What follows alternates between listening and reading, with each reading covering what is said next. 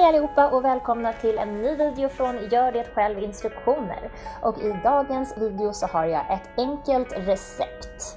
Här ser ni resultatet och som ni ser så ser det lite ut som sånt här cornflakes-godis. Men det är det inte utan det här är krossade kakor eller kex som är täckta med vit choklad och jag har använt mig av pepparkakor. Visserligen, eh, det går givetvis bra med vilka kakor som helst, till exempel Mariekex eller vad ni nu vill ha. Men jag tycker att det här passar till årstiden. Och eh, de är alltså täckta med vit choklad och strössel. Så häng kvar så ska jag visa hur jag har gjort.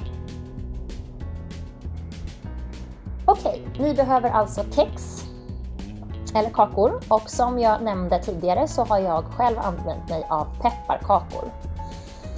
Eh, sen så har jag vit blockchoklad här som vi kommer att smälta ner och sen så kommer jag även att eh, garnera med de här små strösselpärlorna. Okej, så jag börjar med att smälta blockchokladen i ett vattenbad.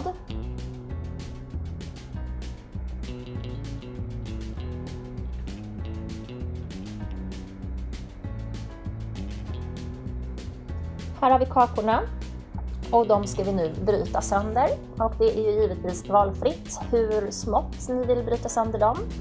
Eh, men sådana här bitar känns lagom. Så, jag har delat upp det här nu i två delar för jag vill se hur, hur eh, själva relationen mellan smält choklad och eh, krossade kakor blir först innan jag tillsätter mer. Så nu häller jag över den smälta chokladen och rör runt med en sked så att allting blir ordentligt täckt.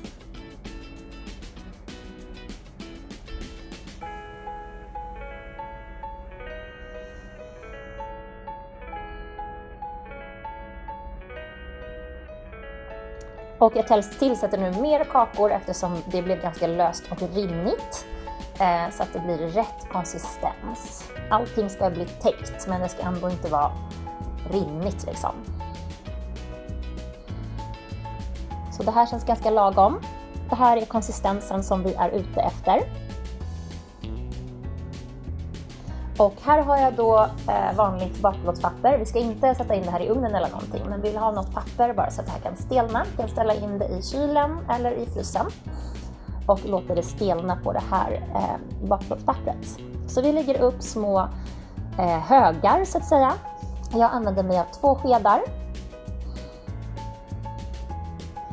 Och när det här stelnar så kommer ju då givetvis chokladen stelna som ni förstår och det kommer ju hålla ihop kakkrosset till en kaka eller snacksbit. Glöm inte strösslet.